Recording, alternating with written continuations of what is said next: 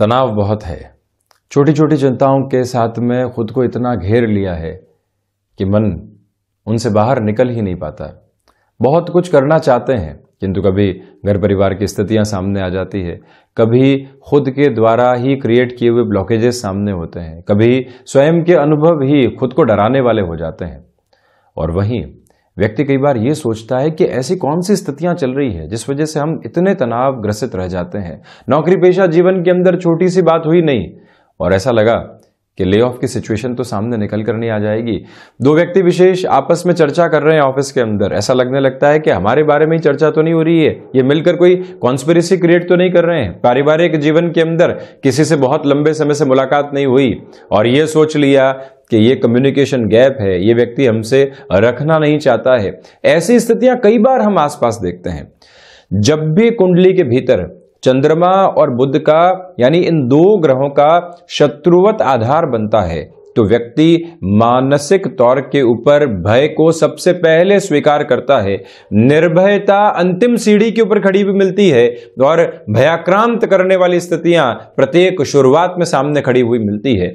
चंद्रमा मन के अधिपति हैं, वहीं बुद्ध मानसिक चेतना के अधिपति हैं। आप देखिएगा कि मन की स्थितियाँ निरंतर फैसिनेशन के साथ में चलती है, मन रुचि के साथ में चलता है, मन को नियंत्रित करने की ज़रूरत होती है, किंतु जब व्यक्ति मानसिक चेतना के साथ में जुड़ता है तो प्रत्येक स्थिति को बहुत गौर से देख पाता है, किंतु बुद्ध की जो प्रवृत्तियाँ हैं, वो यहाँ युवा ग्रह के रूप में चलती है। बुद्ध की स्थितियाँ व्यक्ति विशेष के लिए प्रबंधकीय आधार लेकर आती है, किंतु चंद्रमा और बुद्ध, इन दोनों ही ग्रहों के साथ में शत्रुवत आधार रहते हैं। आप इसको थोड़ा सा और डेप्थ के अंदर देखें तो चंद्रमा की किसी भी ग्रह के साथ में शत्रुता नहीं है, किंतु बुद्ध की शत्रुता चंद्रमा के साथ में है। इसी वजह से बुद्ध जहाँ पर भी चंद्रमा के साथ में होंगे, मन और मानसिक चेतना के अंदर ये जो तनाव निकल कर आते हैं, ये व्यक्ति को कई बार डिस्टर्ब करने वाले हो जाते हैं। इस एक स्थिति को और गौर से हम देखने का प्रयत्न करें, इन दोनों ग्रहों की ही युति बनी हुई हो। वहाँ पर न सूर्य की स्थितियाँ साथ में हो और न ही शुक्र की स्थितियाँ साथ में हो यह अलग चर्चा का विषय है। किंतु जब भी चंद्रमा और बुद्ध की स्थितियाँ, यदि आप अपनी कुंडली में साथ में देखते हैं तो प्रथम दृष्टिगोचर आधार पर यह देखिएगा, इस बात को ऑब्ज़र्व कीजिएगा कि भय के कितने शिकार हम होते चले जाते हैं। महीने भर पहले किसी भी भय की स्थितियों के साथ में आप थे। आज उसको साथ में रखकर देखें कि क्या उसकी कोई नींव सामने है, क्या उसका कोई बेस सामने है। मन के भीतर से उत्तर निकल कर आएगा कि नहीं, कोई भी बेस सामने नहीं है। हम व्यर्थ की घबराहट के साथ में थे। तो आप कई बार ये भी देखेंगे कि ये जो युति संगत आधार है, ये साथ में मिलने वाला होता है। वैसे भी आप ये देखिएगा कि जब भी चंद्रमा क्षीण होंगे, वो पापी ग्रहों से भी अधिक नकारात्मक फलों को कई बार जीवन के भीतर जोड़ते चले जाते हैं। इसका आशय क्या है? चंद्रमा का क्षीणत्व आधार मानसिक स्तर पर व्यक्ति को निर्बल कर देता है। देखिए, इस बात पर गौर करने की आवश्यकता है कि जहाँ निर्बलता के स्वरूप निकल कर आते हैं, वहाँ व्यक्ति संशय के साथ में होता है और संशय प्रत्येक कार्य को रोकने वाला हो जाता है। तो यहाँ जब चंद्रमा और बुद्ध की युति संगत स्थितियों की चर्चा चल रही है तो यहाँ जो हमने उदाहरण लिया है, वो कन्या लग्न की कुंडली का है। आप देखें, लग्न में ही बुद्ध और चंद्रमा की स्थितियाँ। अब बुद्ध यहाँ मूल त्रिकोणस्थ हो गए। चंद्रमा की स्थितियाँ भले ही लाभेश होकर यहाँ लग्न भाव के साथ में है, किंतु शत्रु, राशि, स्थान की स्थितियों के साथ में भी है। तो इसी वजह से प्रथमतया जो मन की निर्बलता है, वो सम्मुख निकल कर आ गई। बुद्ध नैसर्गिक तौर के ऊपर बेहतर परिणामों को देने वाले होंगे। किंतु जब चंद्रमा की महादशा में बुद्ध का अंतरदशा अंतराल आ जाए, बुद्ध की महादशा हो और चंद्रमा का अंतरदशा अंतराल आ जाए तो व्यक्ति मानसिक तौर के ऊपर कई बार स्वयं को इतना संशय के साथ लेकर चलता है, इतने बेसलेस फियर के साथ में लेकर चलता है कि डिप्रेशन तक जैसी स्थितियाँ सामने निकल कर आ जाती है। हालाँकि यहाँ हम प्रथम भाव यानी लग्न भाव के साथ में चर्चा करें, जब भी ये युति बन रही हो, बुद्ध प्रभावी होंगे तो व्यक्ति फिर भी पोजीशंस को मैनेज कर जाएगा और मानसिक तनाव से धीरे धीरे दूर हटता चला जाएगा। ऐसे व्यक्ति के लिए आर्थिक स्तर के ऊपर लाभ तो रहते हैं, किंतु प्रत्येक लाभ के साथ में खड़ा होकर व्यक्ति यही सोचता है कि कल क्या होगा, क्योंकि ये भयाक्रांत करने वाली स्थितियाँ निकल कर आती है।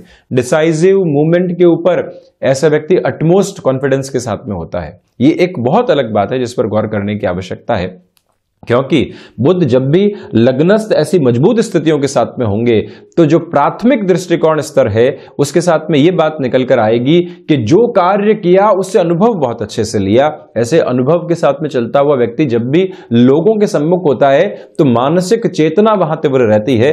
मन की स्थितियाँ इतनी हावी नहीं रहती। इसी वजह से वहाँ विश्वास देखते ही बनता है। किंतु ऐसा व्यक्ति भीतर ही भीतर इतने क्लैशेस का शिकार रहता है, जो इंटरनल कम्युनिकेशन की पोजीशन होती है, वो काफ़ी हद तक फ्रेजाइल होती है। खुद को ही नकारात्मक कर रहे हैं, खुद को ही उलझाते चले जा रहे हैं। और फिर उसके बाद में हम स्वयं को यही कहते हुए प्रतीत होते हैं कि हम जिस कार्य की ओर जा रहे हैं, वहाँ से कुछ निकल नहीं सकता। किंतु जहाँ से लोगों का मोटिवेशन मिलता है, वहाँ से प्रक्रियाएँ पूर्णतया परिवर्तित होकर भी रह जाती है। तो इस एक बात पर यहाँ गौर करें कि जब भी ऐसी युति यहाँ बनी हुई हो, द्वितीय भाव के साथ में, धन भाव के साथ में ऐसी युति हो तो व्यक्ति वाणी के साथ में कई बार रिएक्टिव होता है। या तो कुछ अधिक कहने वाला होगा ही नहीं। जहाँ अपनी बात रखेगा, वहाँ रिएक्शंस लेकर आएगा और वहीं पारिवारिक जनों के साथ में कई बार कुंठाएँ निकल कर आती है।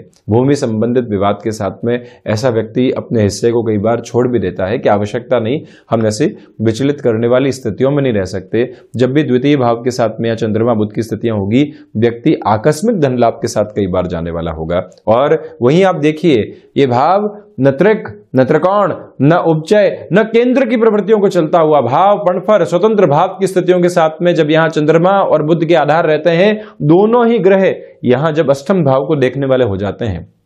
तो व्यक्ति हिडन प्रॉब्लम्स को लेकर बहुत ज़्यादा विचलित रहता है। ये स्थिति परेशान तो नहीं करेगी।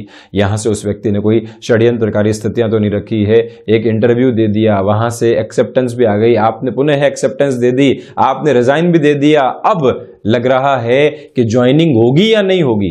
ये सारे जो भय हैं, यहाँ द्वितीय भाव के साथ में चंद्रमा बुद्ध देने वाले हो जाते हैं। वहीं पराक्रम धावस आधार में जब भी इन दोनों ही ग्रहों की युति बन रही हो तो विशेष बात यह है कि व्यक्ति का पराक्रम देखते ही बनता है। व्यक्ति की सौम्यता उसके साथ में चलने वाली होती है। भाग्य का सहयोग भी रहता है, किंतु व्यक्ति ग्रेटिट्यूड के साथ में नहीं होता। और प्रत्येक स्तर के ऊपर यही लगता है कि लोगों ने हमारे लिए क्या किया। हम आगे बढ़ रहे हैं तो स्वयं के बूते ही आगे बढ़ रहे हैं। ये गलत फहमी कई बार ऐसे व्यक्ति को परेशान करती है। भाइयों और मित्रों के साथ संबंधों में कई बार तनाव भी निकल कर आने वाले होते हैं। यात्राओं से संबंधित कामकाज के अंदर कई बार व्यक्ति खुद को विचलित महसूस करता है। इसी वजह से ऐसे कार्य के अंदर अधिक सफलता की उम्मीदें भी नहीं रहती। चतुर्थ भाव के साथ में इस युति को कतई इतना बेहतर नहीं माना जाता। है आपके मन में प्रश्न ये उठ रहा होगा कि चंद्रमा तो चतुर्थ भाव में एक तरह से कारकाधिपति हो गए। हृदय भाव के साथ में चंद्रमा की स्थितियाँ को कैसे गलत ठहराया जा सकता है? चतुर्थ भाव जनता का भाव भी है। फिर ऐसी स्थितियाँ कहाँ से निकल कर आई?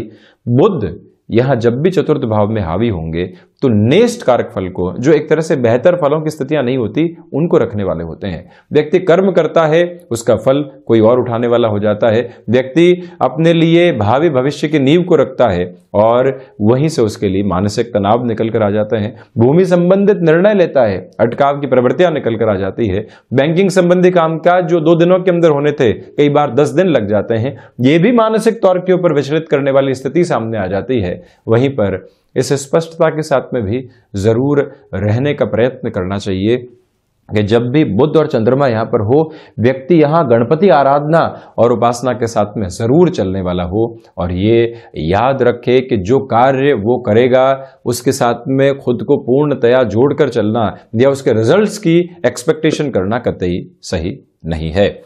पंचम भाव के साथ में चंद्रमा बुद्ध जब भी होंगे तो व्यक्ति संतान पक्ष के साथ में कई बार चिंताओं में ग्रसित रहता है। किंतु आकस्मिक लाभ और शिक्षा संबंधी स्थितियों का बेनिफिट उसको मिलता चला जाता है। मानसिक संतोष कभी भी उस स्तर के ऊपर नहीं रहता, जैसा रहना चाहिए। किंतु सर्वांगीण लाभ में ऐसी स्थितियों के अंदर वृद्धि अलग तरीके से निकल कर आने वाली हो जाती है। ये भी एक महत्वपूर्ण बात रहती है कि पंचम भाव में जब भी चंद्रमा और बुद्ध रहेंगे तो व्यक्ति जो यहाँ पर अपनी क्षमताओं के साथ में किसी भी कामकाज में जुड़ सकता है, वहाँ पर भी गफलतें निकल कर आती है। लंबे समय से किसी कार्य को करते आए हैं। कई बार व्यक्ति खुद के साथ में वहीं आकर खड़ा हो जाता है कि क्या ये कार्य हमने ही किया था? ऐसी दुविधाएँ कई बार उस व्यक्ति विशेष को पशुपेश में भी डालती है, जिससे उसे सावधान रहने की आवश्यकता रहती है। षष्ठ भाव में चंद्रमा बुद्ध हो तो व्यक्ति मौसम जनित बीमारियों से, साथ ही साथ में थायराइड जैसे रोग से त्वचा संबंधी विकारों से। और मंगल के राशि स्थान में दोनों ही ग्रह हो जाएँ तो त्वचा से संबंधित बीमारियाँ कई बार बहुत अधिक परेशान करने वाली हो जाती है। उसे संभलना चाहिए। एक्सपोर्ट संबंधी कामकाज के अंदर इस युति को बेहतर कहा जा सकता है। ये एक पॉजिटिव रिदम यहाँ पर बनती है, और वहीं शत्रु कई बार सोच पर बहुत ज़्यादा हावी होते हैं। किसी व्यक्ति ने कोई बात ऐसे ही कह दी किंतु अगले व्यक्ति ने पूर्णतया उसको अपना लिया और अब खुद के लिए भाई के स्वरों को काबिज कर दिया। और कई बार डिप्रेशन जैसी अप्रोच भी इस युति की वजह से यहाँ निकल कर आने वाली हो जाती है। सप्तम भाव में, जब भी चंद्रमा बुद्ध होंगे तो व्यक्ति गृहस्थ जीवन के साथ में बहुत ज़्यादा तनाव ग्रसित महसूस करेगा। कई बार गृहस्थ की ओर से ऐसी डोमिनेशन निकल कर आती है कि लगता है कि स्वतंत्र जीवन का आधार रह ही नहीं गया है। जो भी बात कही जा रही है, उसको स्वीकार कर रहे हैं। भले ही गलत हो चाहे सही हो, विद्रोह की ताकत, ना कहने की शक्ति समाप्त हो चुकी है। ऐसी दुविधाएँ कई बार यहाँ से निकल कर आती है। तो वहीं व्यापारिक जीवन के अंदर ऐसा व्यक्ति एक अलग ख्याति को अर्जित करने वाला हो जाता है। शनिदेव की दृष्टि, यदि यहाँ सप्तम भाव के साथ में हो बुद्ध और चंद्रमा सप्तम भाव में हो तो व्यक्ति के लिए व्यापारिक जीवन में अलग तरीके की स्थिरता निकल कर आती है। किंतु जो भी लोग साथ में जुड़े हुए हैं, उनको व्यक्ति शंका की निगाह से देखने वाला हो जाता है। ये एक दुविधा रहती है। तो वहीं अष्टम भाव के साथ में चलें तो बुद्ध और चंद्रमा की स्थितियाँ कई बार व्यक्ति विशेष को यहाँ पर पारिवारिक जनों के साथ में, मित्रों के साथ में, संबंधों के अंदर बहुत ज़्यादा अपनत्व लेकर नहीं आने देती। तनाव ग्रसित रखती है, भीतर ही भीतर उलझा हुआ जीवन कई बार दे देती है। परंतु मेटल संबंधी कामकाज में दो से तीन बार किसी व्यापार में असफल होने के बाद में व्यापारिक स्थितियों में शीर्ष को हासिल करना यह भी अष्टम भाव के साथ में बुद्ध चंद्रमा की प्रवृत्तियाँ देने वाली होती है। नवम भाव के साथ में व्यक्ति अपने अनुभव के साथ आध्यात्म को देखने वाला होता है। जो चिंताएँ रही, उसके ऊपर चिंतन करता है और समाधान की ओर जाता है। कमोबेश ये कहा जा सकता है कि बुद्ध चंद्रमा भले ही शत्रुवत आधार रख रहे हो, किंतु जब भाग्य भाव के साथ में होंगे तो व्यक्ति पराक्रम के माध्यम से जीवन को आगे चलाने वाला होगा और व्यक्ति विशेष के लिए एक जो पॉजिटिव रिफ्लेक्शन निकल कर आने चाहिए, वो भी लगातार बनते हुए यहाँ पर होते हैं। दुविधाएँ कहीं पर भी घेरने वाली नहीं होती। ये एक स्पष्टता यहाँ सम्मुख और वहीं। जो विदेश संबंधी स्थितियों के साथ में शिक्षा के आधार होते हैं, वो भी काफ़ी हद तक बेहतरी देने वाले हो जाते हैं। दशम भाव। आप ये देखिएगा, लग्न में जिस तरह से बुद्ध के प्रभावी परिणाम निकल कर आते हैं, उसी तरह से दशम भाव में भी। प्रबंधकीय कार्यों के अंदर व्यक्ति एक तरह से एक्सपर्टीज जहाँ पर स्टिफर सिचुएशंस हैं, मुश्किल हालात हैं, वहाँ पर स्वयं को काबिज करना और समाधान सम्मुख रखना ये व्यक्ति के लिए प्रमुख स्तर के ऊपर गतिविधि रहती है। पिता के साथ वैचारिक विद्रोह निकल कर आते हैं। कामकाज के अंदर डोमिनेट करने वाली अप्रोच जब भी बुद्ध चंद्रमा की युति होती है तो वो डिस्टर्ब करने वाला एक तरह से बेस बनाने वाली हो जाती है। एकादश भाव के साथ में जब भी चंद्रमा बुद्ध होंगे तो व्यक्ति के लिए पुण्य फलों का उदय नहीं होता। व्यक्ति कर्म करता रहता है और कर्म के साथ में जो फलाफल मिलने चाहिए, वो सम्यक आधार पर मिलते हैं। बियॉन्ड एक्सपेक्टेशंस यहाँ मिलने वाली पोजिशंस नहीं रहती, किंतु संतान पक्ष की वजह से ऐसा व्यक्ति ख्याति को अर्जित करने वाला भी हो जाता है। ये एक स्पष्टता, शेयर मार्केट संबंधी कामकाज में अनुभव और अनुभव के साथ में जुड़कर खुद को फ़ायदे देना, फ़ायदे के साथ में लंबे निवेश की प्रक्रियाओं के साथ में चलते हुए खुद को एक शीर्षस्थ आधार पर निवेश के माध्यम से देखना, ये एक पॉसिबिलिटी रहती है। जितना व्यक्ति इनकम सोर्सेज से जनरेट करता है, उतना ही पैसिव इनकम सोर्सेज से भी जनरेट करने वाला होता है। ये इलेवेंथ हाउस की पोजिशन और वहीं ट्वेल्थ हाउस में जब भी चंद्रमा और बुद्ध का आधार रहता है। मानसिक स्तर के ऊपर भयाक्रांत करने वाली स्थितियाँ, किंतु विदेश संबंधी आधार में यहाँ बेहतरी लगातार साथ में जुड़ी रहती है। इसी वजह से जब भी द्वादश में बुद्ध और चंद्रमा होते हैं तो व्यक्ति कई बार शत्रुओं के साथ में ऐसी विद्रोही स्थितियों में आता है कि स्वयं के कई दिन एक तरह से ज़ाया करके रख देता है। निकलता कुछ भी नहीं है, किंतु डिस्टर्बेंसेस निकल कर आते हैं। ईगो सेटिस्फाई होना चाहिए। ये अप्रोच बारंबार मन के भीतर से निकल कर आती है व्यक्ति के लिए। ये दुविधा द्वादश के साथ में कई बार मिलने वाली हो जाती है। तो ये था बुद्ध और चंद्रमा की युति के फलाफल का एक तरह से विश्लेषण आधार। हम ऐसे ही चर्चाओं के साथ निरंतर हाजिर होते रहेंगे। धन्यवाद और कोटिशह आभार।